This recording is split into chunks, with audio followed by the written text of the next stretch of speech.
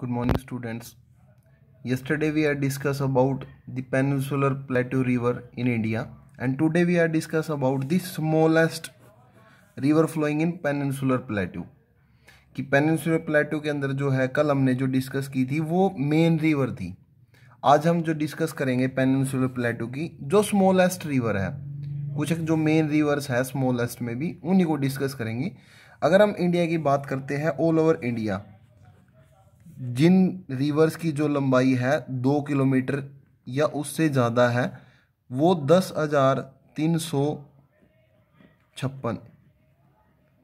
इतनी रिवर है इंडिया के अंदर जिनकी लंबाई जो है दो किलोमीटर या उससे ज़्यादा है, ten thousand three hundred fifty six rivers. But इनमें से कुछ स्मॉल रिवर है जिनके बारे में हम डिस्कस करेंगे पेनिनसुलर प्लेटूज की। इनको भी हमने दो हिस्सों में डिवाइड किया है टू पार्ट्स में डिवाइड किया इनको।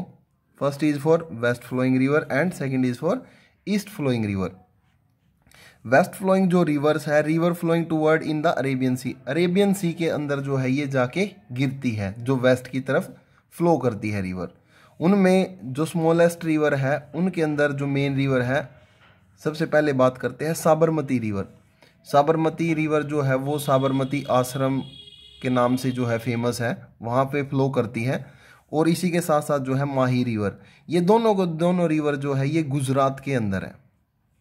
आपको मैप में भी दिखाऊँगा कि कहाँ कहाँ पे ये रिवर जो है फ्लो करती है। साबरमती और माही, ये दो रिवर जो है, ये गुजरात में फ्लो करती है। उसके बाद जो है हमारी नेक्स्ट रिवर है, वेतरना रिवर वेतरना रिवर जो है, टिम्बक हिल्स है महाराष्ट्र के अंदर। महाराष्ट्र, जो गुजरात के नेक्स्ट जो स्टेट है महाराष्ट्र, वहाँ पे टिम्बक हिल्स है, वहाँ पे वेतरना रिवर जो है, वहाँ से राइज होती है और फ्लो करती हुई अरेबियन सी के अंदर जाके जो है गिर जाती है।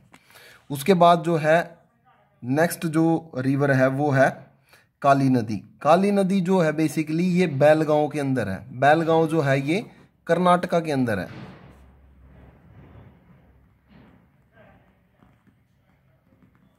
कर्नाटका के अंदर जो है बैलगांव एक विलेज है, वहाँ से जो है काली नदी निकलती है राइज करती है और ये रिवर जो है बहती हुई आगे जो है अरेबियन सी के अंदर गिर जाती है। नेक्स्ट जो रिवर है मांडवी और जुआरी।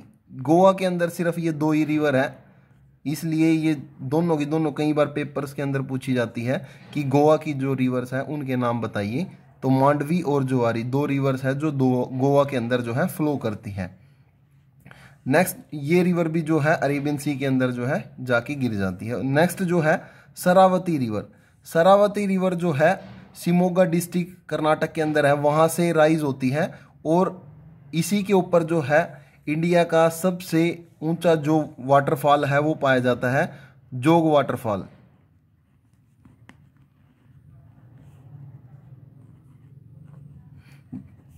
जोग जो वाटरफॉल है इंडिया का सबसे ऊँचा जो है वाटरफॉल है, जो सरावती रिवर के ऊपर पाया जाता है, कर्नाटका के अंदर है ये सिमोगा डिस्ट्रिक्ट से जो है राइज होती है और अरेबियन सी के अंदर जाके गिर जाती है। उसके बाद जो है भरत पूजा भरत पूजा और पेरियार दोनों की दोनों जो रिवर है, ये केरला से निकलती है। भरत पूजा जो है longest river in Kerala Kerala की जो है सबसे लंबी नदी है और पेरियार जो है सेकंड लॉन्गेस्ट रिवर है केरला की। Second longest river in Kerala ये अन्नामलाई हिल्स से निकलती है और वहाँ से फ्लो करते हुए भी अरेबियन सी के अंदर जाके जो है गिर जाती है। अन्नामलाई जो हिल्स है, ये बेसिकली केरला के अंदर है। बिल्कुल लास्ट में जो हमारी जो सबसे सदरन पार्ट के अंदर जो लास्ट में हिल्स पाई जाती है, वो अन्नामलाई हिल्स है। अनाईमुडी जिसकी सबसे ऊँची जो है चोटी भी है, जो हाईएस्ट पीक है इसका, अनाई, अन्नामलाई हिल्स का। अनाईमुडी है, जो सदरन, जो साउथ इंडिया की जो है सबसे ऊँची पीक भी बोल देते हैं अनाईमुडी तो वहाँ से जो है भरत पूजा और पेरियार रिवर जो है फ्लो करती हुई अरेबियन सी के अंदर जाके गिर जाती है। नेक्स्ट जो है हमारी, पहले हम इसको मैप में देख लेते हैं कि कौन कौन सी रिवर है। ये हमारा जो है इंडिया का मैप है। ये जो रिवर है, साबरमती देन माही। ये दोनों की दोनों जो है अरेबियन सी के अंदर जाके गिर जाती है। साबरमती और माही नाम से जो है इनको थोड़ा देख लेना आप लोग। उसके बाद नेक्स्ट जो है महाराष्ट्र के अंदर वैतरना। वैतरना जो रिवर है, ये महाराष्ट्र के अंदर पाई जाती है। नेक्स्ट जो है मांडवी और जवारी, ये दोनों की दोनों जो रिवर है, ये गोवा के अंदर पाई जाती है।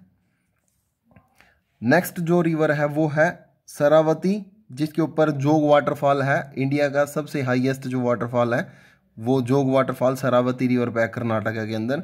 और काली नदी काली नदी जो है वो बैलगांव से जो है निकलती है और अरेबियन सी के अंदर जाती है। उसके बाद केरला की जो दो रिवर्स है, पैरियार और भरत पूजा, ये दोनों की दोनों जो है अन्नामलाई हिल्स से निकलती है और कहाँ जाके गिरती है? अरेबियन सी के अंदर। दोनों की दोनों केरला की है। ये दोनों की दोनों कर्नाटक की है। ये दोनों की दोनों गोवा की है। ये जो है महाराष्ट्र की है। और ये नेक्स्ट जो है साबरमती और माही, ये दोनों गुजरात की है।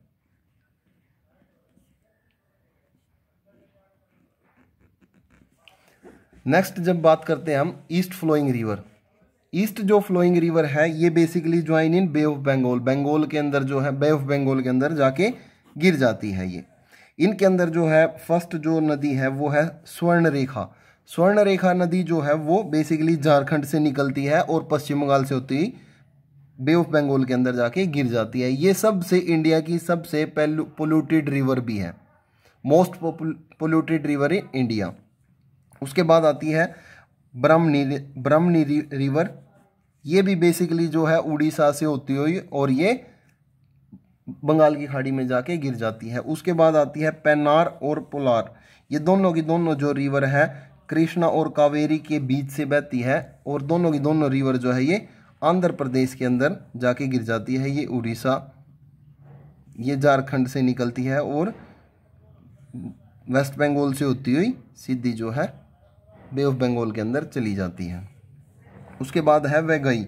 वेगई ये है जो है, ये तमिलनाडु से निकलती है और ये भी अंत में जाके जो है बे ऑफ़ बंगाल के अंदर गिर जाती है। ये हमारी जो रिवर्स है, ये आपको मैप में दिखा देता हूँ।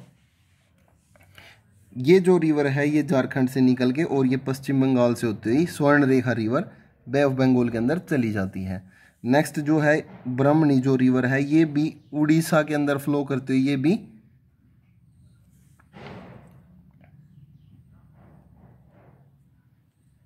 ये रिवर भी जो है बे ऑफ़ बंगाल के अंदर गिर जाती है। नेक्स्ट यहाँ पे जो है कृष्णा रिवर है और यहाँ पे कावेरी रिवर है। इन दोनों रिवर्स के बीच में पेनार और पोलार दोनों की दोनों रिवर है आंध्र प्रदेश के अंदर। ये फ्लो करती है और ये भी अंत में जो है बे ऑफ़ बंगाल के अंदर गिर जाती है।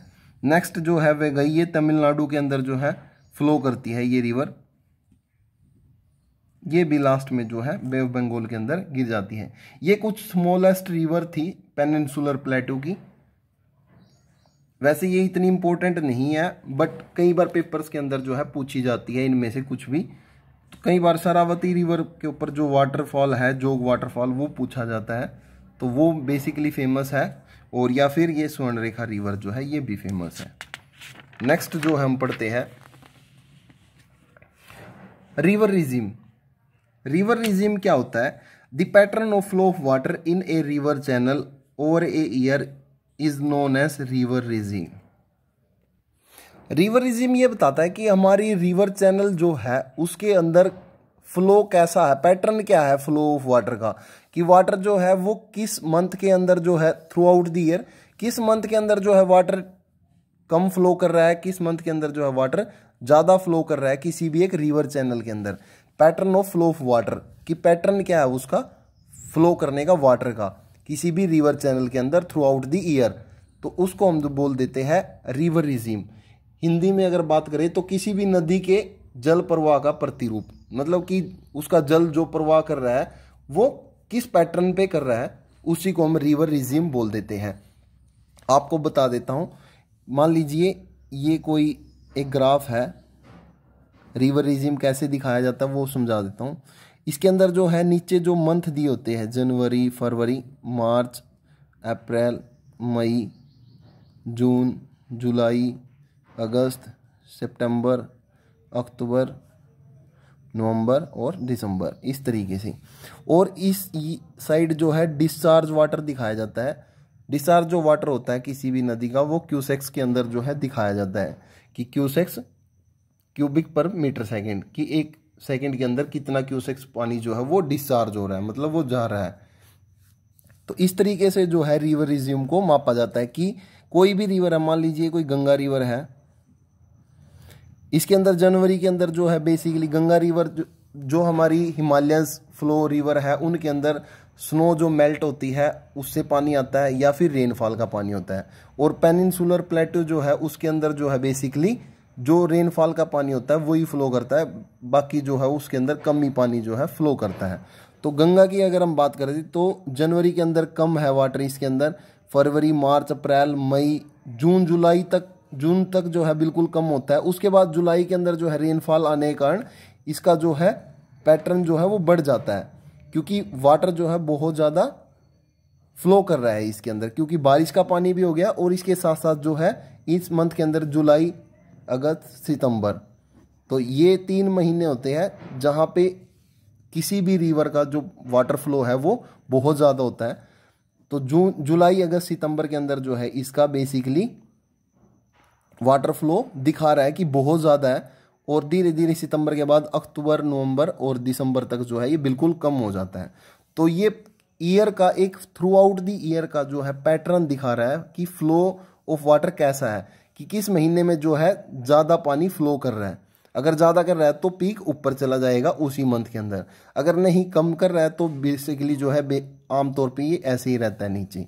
हर रिवर का जो है बेसिकली जुलाई, जून, जुलाई, अगस्त और सितंबर ये चार महीने होते हैं जिनके अंदर जो है इनका जो फ्लो जो है वो पीक पे होता है। क्योंकि इन दिनों जो है इंडिया के अंदर रेनफॉल होती है। इसी के अंदर कुछ टर्म्स है, वो बता देता हूँ। इसका जो टॉप होता है, उसको पीक बोल देते हैं। और इसका जो ये वाला पार्ट होता है, इसको बोलते हैं राइजिंग लिम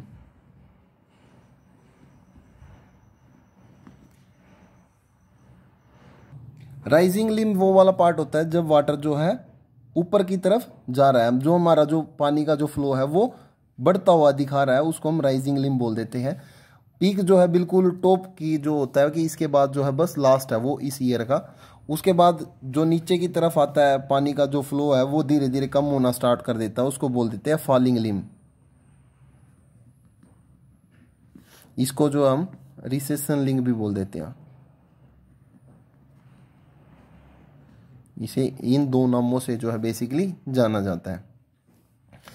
इसको हम दिखाने के लिए बेसिकली जिसको हम दिखाते हैं ग्राफ के, उसको बोल देते हैं hydrograph hydrograph is a graph showing the rate of flow of water in a drainage basin कि एक ड्रेनेज बेसिन के अंदर जो है, किसी भी वाटर का जो है वो रेट ऑफ़ फ्लो जो दिखाते हैं, हम उसको हाइड्रोग्राफ बोल देते हैं। हाइड्रोग्राफ के द्वारा हम जो है रेट ऑफ़ फ्लो दिखाते हैं rate of flow of water किसी भी ड्रेनेज बेसिन का। Hydrograph is a graph showing the rate of flow of water is a drainage basin is also known as hydrograph basically ये जो होता है, इसको हम हाइड्रोग्राफ ही बोलते हैं।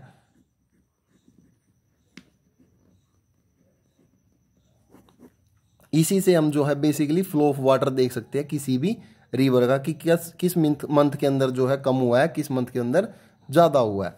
और हमारी बुक के अंदर जो है, इनसे अलग जो है कुछ एग्ज़ाम्पल दिए हुए हैं कि जो रिवर रिजीम है, वो किस प्रकार से, किस मंथ के अंदर कम होता है किस रिवर को और किस मंथ के अंदर ज़्यादा होता है। जैसे गंगा रिवर का एग्ज़ाम्पल दिया हुआ है कि गंगा रिवर के अंदर जनवरी में जो है सबसे कम होता है और जुलाई, अगस्त में सबसे ज़्यादा जो है वाटर फ्लो करता है इसके अंदर। ऐसे ही गोदावरी और मतलब हिमालयन रिवर भी दे रखा है। एक दो एग्जांपल और पेनिनसुलर रिवर का भी एक दो एग्जांपल जो है दिया हुआ है बुक में। वो आप लोग अपने आप रीड कर लेना कि किस मंथ के अंदर जो है रिवर ज़्यादा फ्लो करता है पानी रिवर के अंदर और किस मंथ में जो है वो कम फ्लो करता है रिवर के अंदर पानी। तो एक एग्जांपल है बेसिकली समझने वाली बात ये कि रिवर रिजीम क्या है? The pattern of flow of water in a river channel कि फ्लो की पैटर्न क्या है? किसी भी रिवर के अंदर फ्लो ऑफ़ वाटर का कि किस मंथ में अंदर ज़्यादा होता है फ्लो किस मंथ के अंदर कम होता है।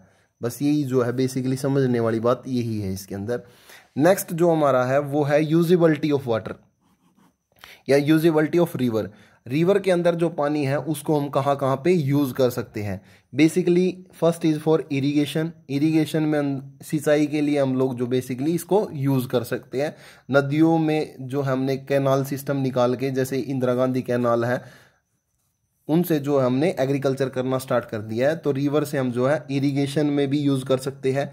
हाइड्रो इलेक्ट्रिसिटी जैसे बाखड़ा डैम है, उसका पानी जो है इरिगेशन में भी यूज़ करते हैं।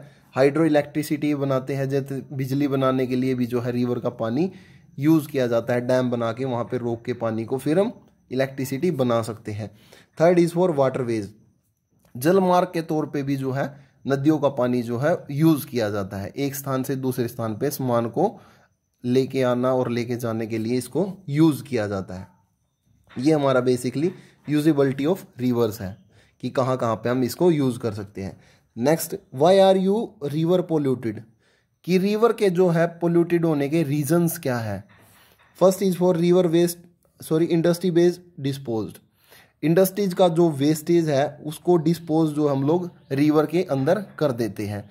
जैसे कानपुर है, कानपुर के अंदर जो गंगा रिवर फ्लो करती है, उसके अंदर जो है बेसिकली सारा कूड़ा करकट जो इंडस्ट्रीज़ का, वो डाल दिया जाता है। ऐसे ही दिल्ली के अंदर यमुना रिवर जो फ्लो करती है तो जितना भी कूड़ा करकट होता है, या इंडस्ट्रीज़ का जो वेस्ट होता है तो वो सारे का सारा जो है, इन्हीं रिवर्स के अंदर जो है फ्लो कर दिया जाता है, बह दिया जाता है, जिसके कारण जो हमारी रिवर्स जो है, वो पोल्यूटेड होती जा रही है।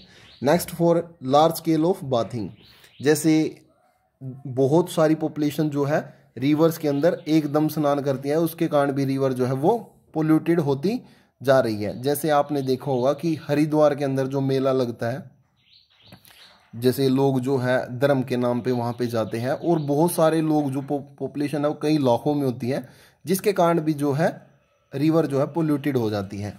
वॉशिंग ऑफ़ क्लोथ कपड़े धोने से भी जो है रिवर में पोल्यूट रिवर जो है वो पोल्यूटेड हो जाती है।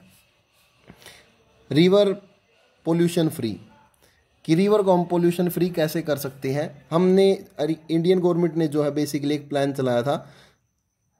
गंगा एक्शन प्लान इसके अंदर क्या था कि उमा भारती जो है बेसिकली इसकी मिनिस्टर बनाई गई थी कि गंगा जो है बिल्कुल साफ़ करेंगे। काफ़ी पैसा जो है इस पर खर्च भी किया गया है बट वो हो नहीं पाया।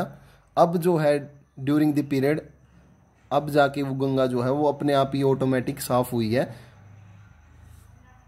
कोरोना वायरस के कारण जो लॉकडाउन हुआ है, उसकी वजह से बेसिकली गंगा अपने आप ही साफ़ हुई है, लेकिन पैसा बहुत खर्च किया गया है गंगा को साफ़ करने के लिए।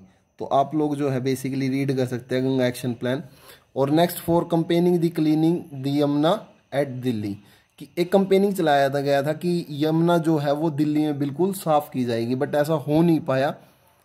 ये भी जो है अब लॉकडाउन पीरियड के दौरान ही सारी रिवर्स जो है वो बिल्कुल क्लीन हुई है। उससे पहले कभी भी नहीं देखी गई कि एक रिवर्स जो है क्लीन हुई हो। तो ये जो है, कुछ कंपेनिंग थे गंगा को साफ़ करने का और यमुना को साफ़ करने का, दिल्ली के अंदर चलाए गए थे। तो इनके, इन प्लान्स के द्वारा जो है गंगा रिवर्स को जो है पोल्यूशन फ्री करने की सोची गई थी। Thank you to all of you आपका जो होमवर्क है to read chapter third complete आप जो है पूरा चैप्टर कंप्लीट जो है रीड करना है आपको। कल जो हम इसके बेसिकली क्वेश्चन आंसर करेंगे। Thank you to all of you